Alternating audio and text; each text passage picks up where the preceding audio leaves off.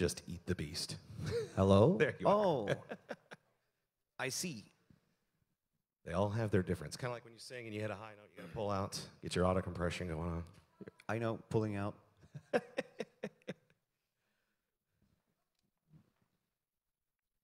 Ready to rock and roll? pull. Awesome. Welcome. Hello, world, from iHeartMedia HQ in New York City. I am the Big Rig. This is Tobias Forge from Ghost, everybody. Welcome. Now, this is a very unique instance for me because this, to my knowledge, is the first time you are you as the director with me. In the past, the first time I met you was with Papa the Third, I think, and you, and that was a very unique experience. That was my introduction to the band because for those of you don't know, this goes all the way back to 2006, the brainchild, if you will. In your 20s at that point, when all of this kind of came to fruition in your mind, musically, your musical start? Yes, in 2006, I was 25. And here you are, So- 37, Yes. a father, husband. Father of two, husband, yeah. What does the family think about what you do for a living?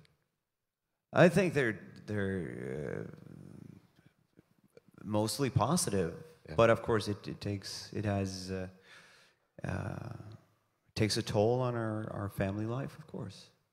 Do they get to join you on the road on occasions? To a certain extent, our, our kids are in, in school and in the Swedish uh, school system that does not allow for that sort of Hollywood style when you just yank them out for three weeks and go somewhere and then come back for one week and do that. So you, you, we can't really Right. do that. No. Yeah, that's a lot of times I always forget because when I talk to you, to me, it feels so America. I mean, you do because you've been here for so long. You've had such great success now. We were just talking about when you were approached to open for Iron Maiden, that had to be a wow kind of experience, I would think, when you had that chance. Do you mean the first time we did it or for the I'm American talking about tour? last year because that Last to me, year. it Oh. feels to me like that was kind of the springboard for where we are now. Yeah, no. It, when we got the offer, it was fantastic because we we had been uh, to, we've done tours or parts of tours with them, but it was always like a gig here and there, and then we did a festival together with them, and it was sort of jumping in and out. So we were really looking forward to possibly at some point doing the more of a consecutive tour together. Right. So when they when they offered the American tour, that it just felt like a that was a no brainer. That's exactly what we wanted to do, especially an American arena tour in the summer. That is, you know, that's a classic that you you need to do.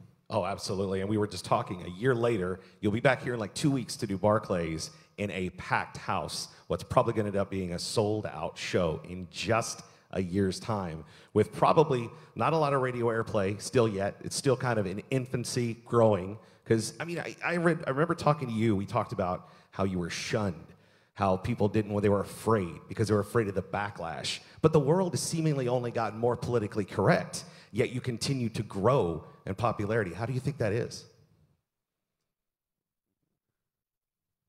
Uh, hard work. I mean, obviously, we. I, I think that as much as the music industry is supposed to have changed, I think that at the end of the day, what really matters is making good music, and you have to work that music. You have to out, go out. You have to tour. If you if you have radio that's really good, it helps. It helps a lot. Um, but first and foremost, you have to tour. You have to tour and then tour and then you tour some more. And I'm sure the social media aspect of it helps out a whole lot as well. It does. If people talk about you, that also adds a lot. Even if they're talking shit about you, it, it also helps a lot, actually. so the more people talk shit about you, the more, you know, uh, traffic it, it yields. Yes, true. Controversy usually yields positive results in most ways. Yes. Sometimes not so much in the world we're living in today, but in the music industry and the entertainment industry, yes. One of the things I want to bring up, because something you talked about people talking about you poorly and things of that nature. I know you've talked a lot about bullying in the past, how you grew up, I grew up, face for radio, lots of bullying in my life. Still to this day, I kind of sort of feel, I mean, do you i know you said you looked ahead at life as growing up like it was going to come to an end maturely but a lot of kids can't do that You know, I, I had a son myself that was dealing with this in the last year, and you try and tell him the right words, but then I thought, geez, you know, it's never really stopped. And kind of where you are now, you still do deal with it to a degree, wouldn't you think? Well, I mean, I grew up in, in an environment where I ended up on both sides. So I've been talking about a little that um, as an as a music fan, as you know, I I've sort of I'm sort of the kind of person that sort of ends up a little bit on the outside, um, but. Uh, depending on certain years and certain years in school, I was outsider for those years, and then I came into that little gang, and then I got then that was great, and and then I shifted schools for a while, and then I was the complete outsider, and so I've I've been on both that you know I've I've definitely seen on both sides how kids can be extremely cruel, and uh, I've definitely been not so nice as well. Yeah, which I feel when you're forced very- into a corner, it happens. I'm sorry. When you get forced into a corner, sometimes those things happen. You have retribution. No, well- you know, it's a two-way street. Even though well, not to, only yeah. that, I've I've uh, I've definitely had points in time, especially when I was like early adolescence, like 13, 14, uh, when uh, you know you have a lot of things inside that plays tricks on you. Uh, adolescence being one, and Yeah. finding your place in certain things and Puberty and all so, those so I've definitely I've, strange, I've yeah. definitely done things in, at that age that I do not feel very proud of at all. and you're an incredibly strong person. You made a really good life for yourself. You've done some amazing things. You let the creativity flow. And I mean, when we go back and we talk about Three Papas in the past, but to me, where the band seems to be today, like with the Cardinal, the Cardinal seems like the man who is waiting in the wings, who was just waiting for his moment to take over the show, to pull and just take. He looks like a gangster mixed. I mean, he does. A gangsta who would lead the most corrupt, craziest looking church ever, who's the life of the party. You'd never want him to hang around in your house, but he's fun to have over for dinner and drinks. Would I be pretty right in that? Would you Not for too long though. a couple of hours, and then that's about the end of it? yeah, then he starts humping something, so it's like You just never know what to expect. But so the, the three papas, entombed, encased, killed, as it were, that's where I get the whole gangster imagery there. Like something was afoul, and perhaps he would be the mastermind behind that. He seems to be shifty in that kind of a way. I don't know really what he is.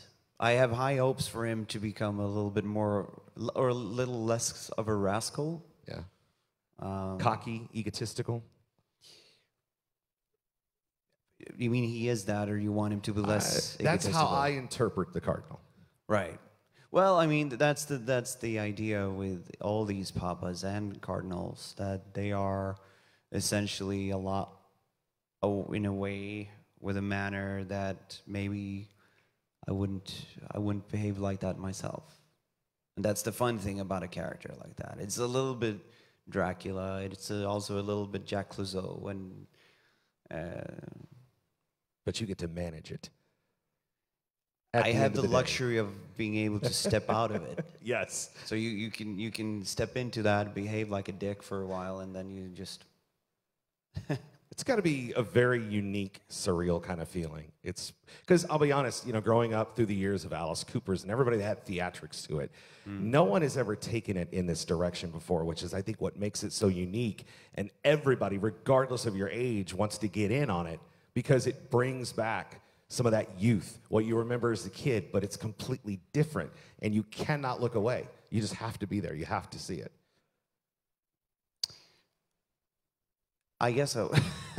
Well- I, I I can't answer that, but yeah, I mean, I from from from uh, from a fan point of view, growing up with that, I I think that Ghost is very much the sort of band that I want to see, that I have seen, but spread out in in different artists, as you say. It's like a labor of love, it really is. yeah, I'd say that. Now, I imagine something like this has got to have obviously vision, creativity. I think like a storyboard on the wall. Like there's a lot of different ways this could go. Do you really know where this is going to end up? How long it's going to go? Where it's going to go? What goes through your mind? I don't know where it's going to end up. I know where I think it's going within a few years.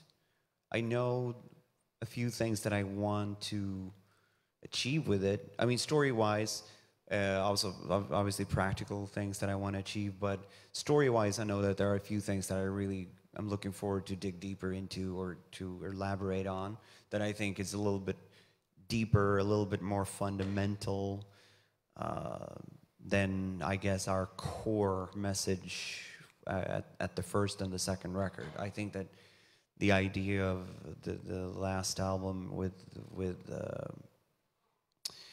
Papa Nihil being the master and the Cardinal being the apprentice, and them sort of fighting in a way uh, as you do when, when you have that relationship Yeah.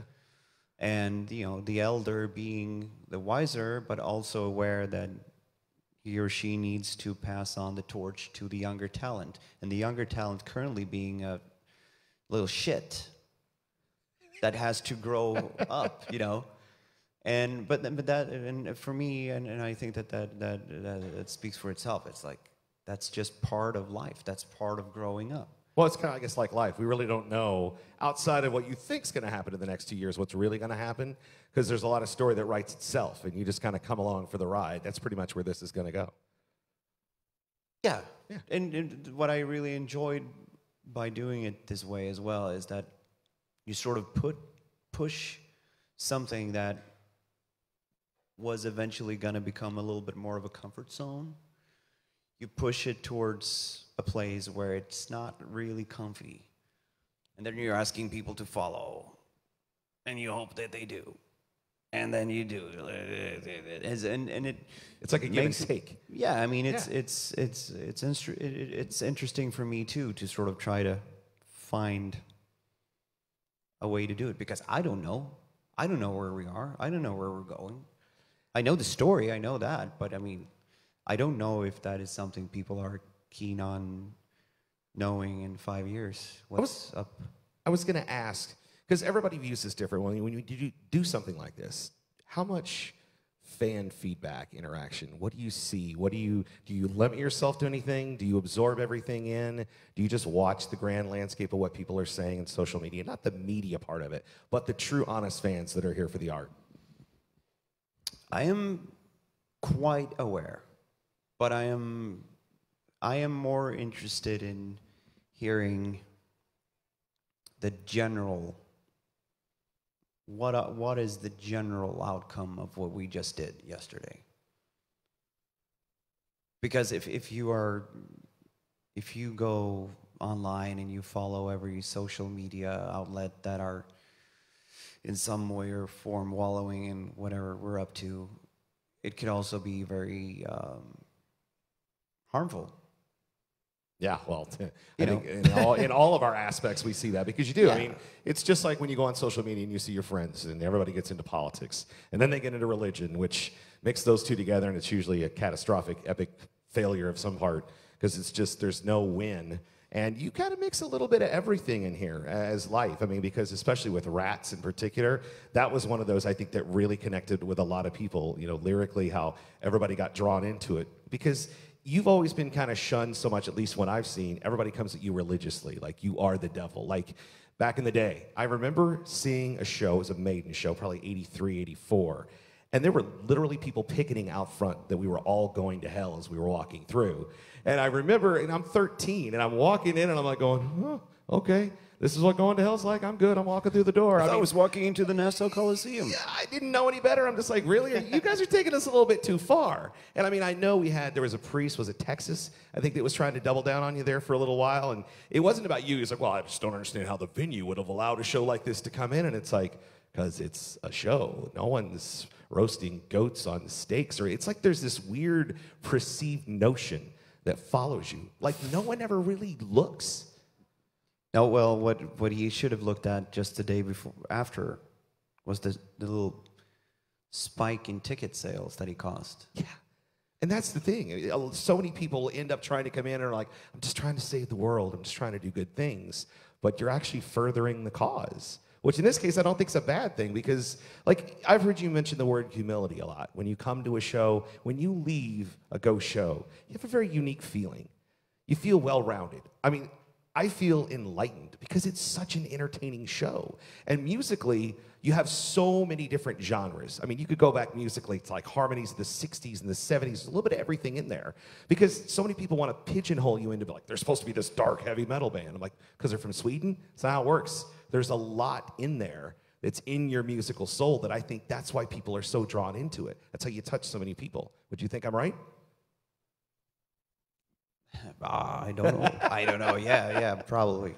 I mean, when I talk to actually don't know. There, there's there's probably uh, several different factors, but I, I think that in in this day and age where a lot of bands sound different, I think we sound our own way. I think we're doing something that is not um, uh, omnipresent generally in the in the rock scene.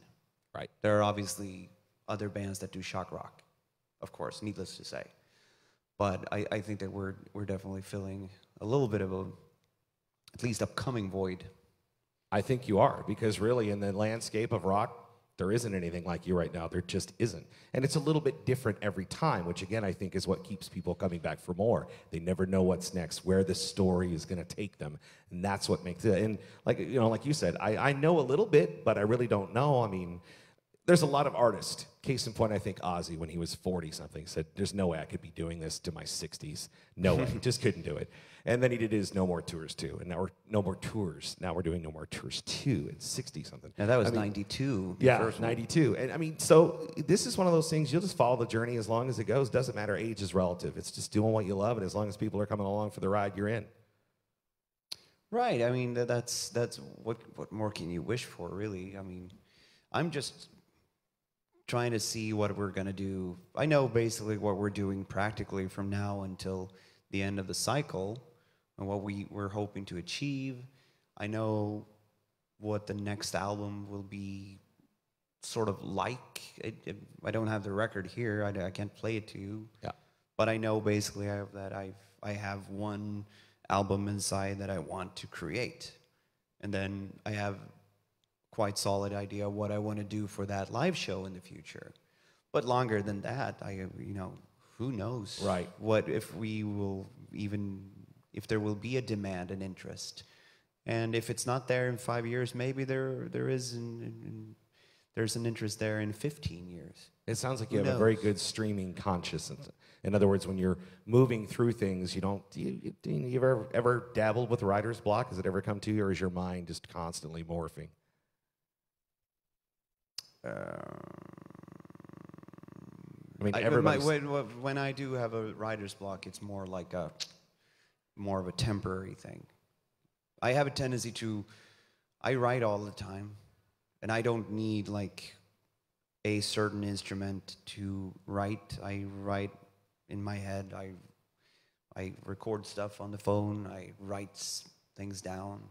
I just remember things. yeah, you're a guitarist by nature, right? That was your one. That was what you were really good at.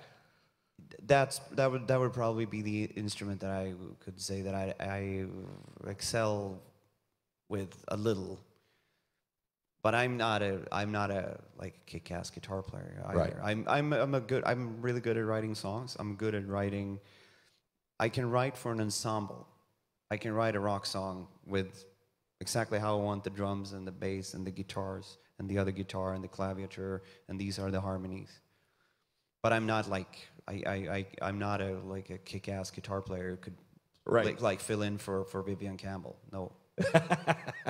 I can play his rhythm things, but I can't like jump in and, in into any uh, the same way that I as a singer I I can do I can do Ghost very well, but I, I can't sing anything. Like I I, I can't jump into into a Dio cover band. No. Well, it's it's because you know sometimes guys get into it for one reason and it takes them another. You know, eh, some guys get into entertainment, but they wanted to be a rock star. They ended up being an actor first, and it went vice versa. But you, I mean, have you always had a theatrical side all the way back to your youth? I mean, theater, things of that nature. I mean, you have an incredible grasp on it because this all seems to come from your mind. I mean, how many people are in this? You as the director, but how many people help you shape? How many people do you run ideas by, or is this just your baby? Period. the whole greatest, the, big scheme of things is uh, there's a lot of people involved. That that per default is moving the thing forward. Yeah. Um, when it comes to my acting or performance or on stage behavior, I, I think that even though it's very infused and very influenced, I the same way the same way that I write music as a as a sort of a mixture homage to a lot of music that I like, be it everything from Bruce Springsteen to some weird eclectic Italian prog rock from 1972. Um, it's just a mixture, and, and the same thing with with the onstage thing is very influenced. And if you're, I mean, I am I grew up in the 80s. I grew up with, you know, Richard Pryor, Eddie Murphy, Yeah. Chevy Chase, uh, Peter Sellers. Um, a lot of that goes through my I can see character. that, My, yes, my, yes. I'm very influenced by that. I'm very influenced by um, Monty Python Yeah. Oh, Monty Python. Oh, the one where our parents tried to shun us, but yet we still found it anyway. Did you ever watch The Young Ones growing up at all? I did.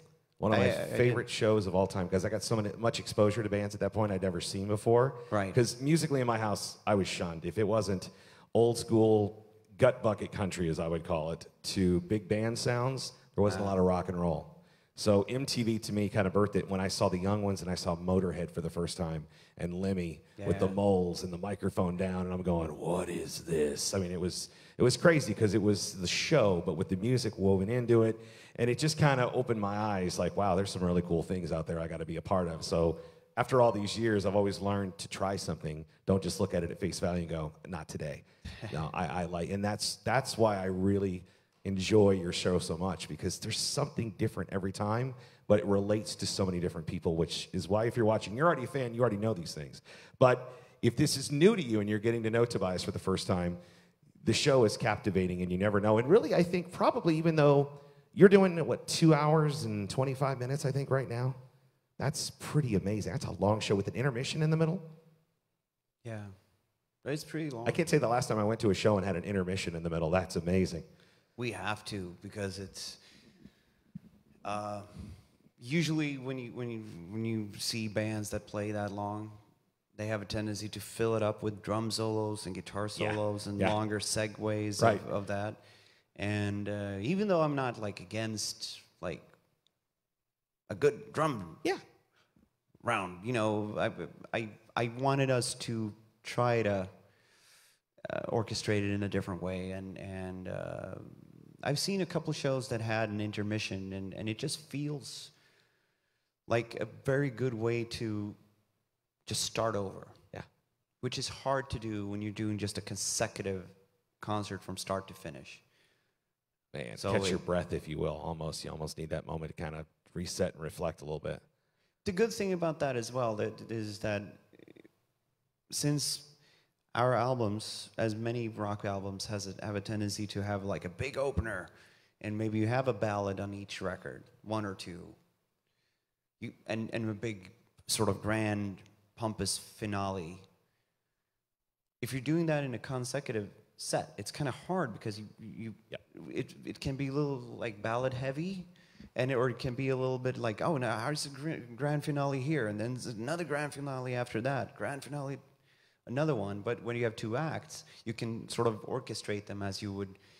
It's kind of like that's kind of like filming two films at the same time. Yeah. So you you know that we can save that scene for later because we're going to restart. Each set needs to have like a dramaturgical structure that starts big and then goes down and big resolve. It's amazing. I, I just what the work that you put into this. I know I was I was reading one interview where you talked about sometimes you reflect and you think about how many people are counting on you and your vision and everything else. Overwhelming, but it's to me it's I find it very fulfilling when you when you found your place and you're doing good things and you can have a lot of people come along with you for the ride to make it even greater. It's a really fulfilling feeling. I tell by the smile on your face. Do you feel the same way? I mean, you know everybody's counting on you, but just to be a part of something so cool, to know that it's going to keep growing, it's got to be amazing. Absolutely. I mean, especially on tour, that's when you really can physically see the support. Yeah. That that's when you know. That's when you. I, that's a fantastic thing that I, uh, despite the fact that I I, I would definitely wanted if in in an alternative life I would have loved to work in film. I love film. I grew up watching a lot of film. I watch. I, I, I think very cinematically. But the one thing that I would miss, the people that I know that work in film, they don't ever. Obviously, you don't film it and then you, you go and recreate it. Right. So a lot of oftentimes, you, you know, as an actor, um, that film that just started showing, that was part of your life two years ago. Yeah. So you you feel very distanced, which can in one way can be, I guess, a positive thing, but but from a from um, creating something together and those magical moments are definitely uh, plenty of them being on tour. And knowing that we were here one year ago and we were here two years ago and four years ago and five years ago and every time we played a bigger place Yeah. or last time we were here we'd half sold and now it's full. So you know that you can physically see Everybody getting the growth. And would would you? Everybody has a different take. Smaller, larger venue. I know larger probably gives you better theatrics to do more stuff. Smaller maybe a little bit harder, but at the end of the day, or are they both good? What do you think? I tend to go for larger. Um, because course. the if it's large enough, you can control. If you if it's large enough to the point where you can actually build your stage, you can build the stage in a in a way that will allow for there to be intimacy.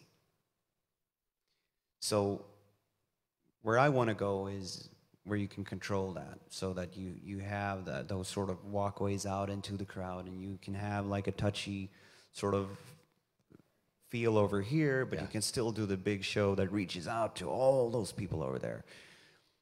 Um, just from a production standpoint with this band that i have this vision for i think bigger is better. But as a guitar player like liking you know uh, uh, being able to sort of have your own amp and just playing punk rock i Yeah. I, I love doing that in a small venue as well so it's it's it's just that with ghost i like doing it bigger Is there some place you've been that has been the most special that sticks out in your mind? I know we were just talking about how memory is hard to keep it all together, but is there some place where you go in the, in the night, and it doesn't have to be here in America, be anywhere in the world, where the vibe from the crowd, maybe it was somewhere near the beginning that just was so captivating, you were just over the top? There are some places that really stick out. Um, um, there are cities in America that are that are amazingly sort of autonomous in a way. Mhm. In in the, the sense that you know you have a certain response over here, here, here, here, here, here, here, and then all of a sudden in one city it's just like wow. Yeah. Uh, in Europe, especially the, the, the, the northern you go, the more northern up you go in, in Europe, it has a tendency to sort of mellow out. If you start down in Na- Naples and you just go straight up, it sort of just gradually goes less and less and less. Everybody sort of just stands still. They like it. It's just that they don't like engage as much. But then you go to Poland, and Poland is just crazy. I think that's it- probably some of the craziest videos I've seen where it's like mosh pits in America. I've got nothing on what they do. I mean, Poland, Poland is, is just. is amazing. It's you got to sign a waiver before you walk in. It's crazy. It's it's absolutely mind blowingly wonderful playing in in, in Poland, um, Argentina, Brazil, Yeah, Brazil, I think to me, because Brazil, I've always seen crazy shows. It- but you know, but then there might be other things that are lost as well. Like sometimes you hit certain countries where people generally might not speak much English, mm-hmm. and if you see us playing in in some of those countries, a lot of the onstage banter and the jokes are sort of decimated Yeah. because they fly sort of over people's heads a little. And that goes for some places in Europe as well. Because our character, or at least the, the, the talkative character, is very based on American Slang. And, yeah, he, he's he's a sort of he's a sort of a stereotypical immigrant American dad, grandpa. You know, he has that sort of lingo. Right, right. Yeah, So, that's, that's uh, perfect. And That's- but but he still speaks fluent English. Yeah. So but but but with, with certain grammar mistakes and and, and and that that sort of makes up for some fun uh, misunderstandings. But some of those jokes they just fly over like a balloon of lead like a dead uh, house. Yeah. So so and, and that also might take a little twist on certain certain places where you have this rabid crowd and you can yell Brussels sprouts and everybody goes, "Ah!" Yeah, yeah, yeah. but you cannot tell them a joke because they will they will scream over that joke. Right. Or it just gets lost in translation Yeah. and then it doesn't even matter anymore. is, is there a place you've always wanted to play you haven't gotten the chance to step into yet? Oh, many places. Many places. I every year that we're we're looking at like a, a year of touring, I constantly feel even to places where we have been, but we just we don't we just don't do it Right. repeatedly repeatedly. And people obviously as soon as you uh, announce a tour, people are like, "Oh, you completely forgot about Right. Westmark." Sure. Yeah. um, you're like, Ugh, oh, know, if they only knew that we were working on this, and Right. you know, uh, but there there are certain places that I would really like to hit that that are uh, obviously far away. You don't really go there unless you're a big band. Yeah. Um, and it's not even weird places. It's just that most bands don't go to Hawaii. Right. Most bands don't go to Anchorage or, or Alaska. Um, gigs in on Iceland is sort of far in between. Um, places in Asia that we've we've not played. We've been to Japan once, but uh, I'd like to return to Japan, which is obviously not a weird market in any way. It's just No. it's just Just hasn't happened yet. no. We've been focusing on America and, and, and Europe. Conquer the Americans, conquer Europe, and then it's off to Japan. Why not? Only logical. It's kind of funny too because some bands find uh, exposure there in Japan first before anywhere else. It's crazy. It's almost like sometimes it's the last place you go and then you find it and then you backtrack. There's Right. bands throughout their career that have done that. And it's like, wow, that's kind of strange, but yeah, teach No. their own, as they say. Well, first we took Manhattan, Yes. and then we took Berlin. and you're going to take it again in like two weeks. So it's good times. Tobias, I thank you for this chance to sit down and chat. Love these intimate conversations. It's not so much an interview, it's just kind of chatting. You guys get to be third party, kind of hanging out. Do you think the Cardinal's going to make it? You think he's got some longevity here, or is his ego going to tear him down? I I hope. I hope that's really the only thing he can have, right? I hope. I hope he does. I would love to see him in a skull paint. I think. Oh, yeah. Oh, that could be interesting. Yeah. He's got to have a really interesting uh, after show party, I would have to think. A man about the town. I could only imagine. Yeah. Me too. Tobias Forge, everybody, thank you so much for watching for wherever you are. Intimate conversation on Ghost. I'm the Big Rig. Thank you so much. Thank you thank you very much.